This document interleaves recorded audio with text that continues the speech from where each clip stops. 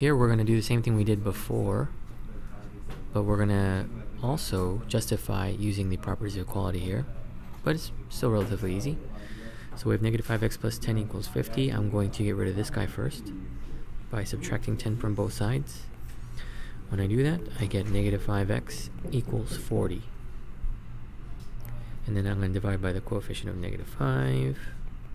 And I'm left with x equals negative 8. Okay, so justify each step. Well, the first thing I did was subtract, so I'm going to do the subtraction property of equality. The second thing I did was I divided by negative 5, so it's going to be the division property of equality. And yes, it's that easy. Next question, I need to, I need to get rid of this minus 9 first, so I'm going to add 9 to both sides. That way this goes away and I'm left with the 1 third x equals 12 and then I'm going to multiply by the reciprocal which is just 3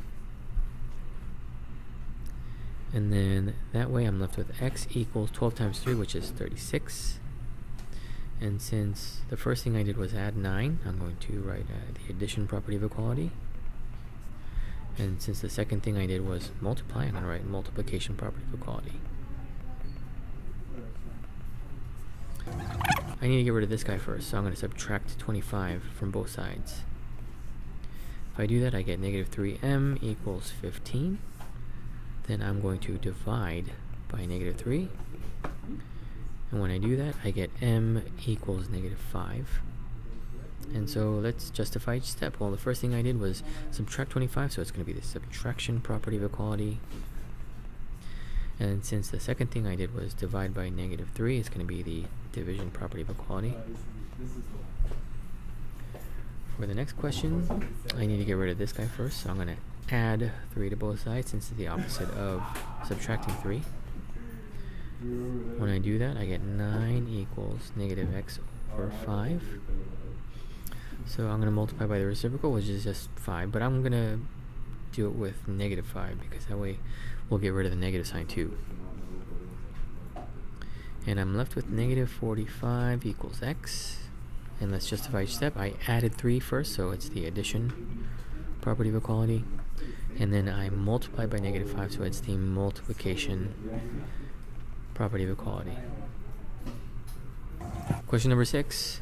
Uh, Jessica wants to buy four new tires for her truck. She has a budget of $500 and she knows that there's a flat installation fee of $60. So no matter what, she has to pay $60 and she has to buy four tires. So to figure out how much one tire could cost, Jessica used the equation shown where T is the cost for each tire. So you're going to solve for T using that equation. So let's go ahead and I think it's more useful to, to do that first.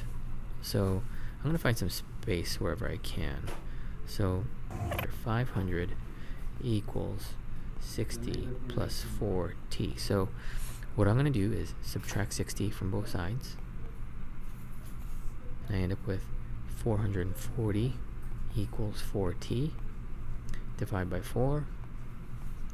And so what we get is each tire is $110. They want us to select two of the following steps and reasons that can be used to solve this equation. So presumably two of these are right, two of these are wrong. So let's take a look. Step 1 is to subtract 60 from both sides of the equation to determine how much money is left for the four tires. Okay, so um, that's the first thing that we did actually. We subtracted 60, so I actually like that one. Uh, step so the next one, step one is to divide both sides of the equation by 4 to determine the cost of each of the four tires before paying for the installation fee. Um, you could do that, but uh, probably not the best step. So let's take a look at the other ones. The next, uh, the next following step is step two is to divide both sides of the equation by four to determine the cost of each tire. So let's take a look at the last one. Step two is to add 60 on both sides of the equation because Jessica will need to spend $60 in addition. Yeah, that's just plain wrong because you're not adding 60. So this seems like it's the best choice there.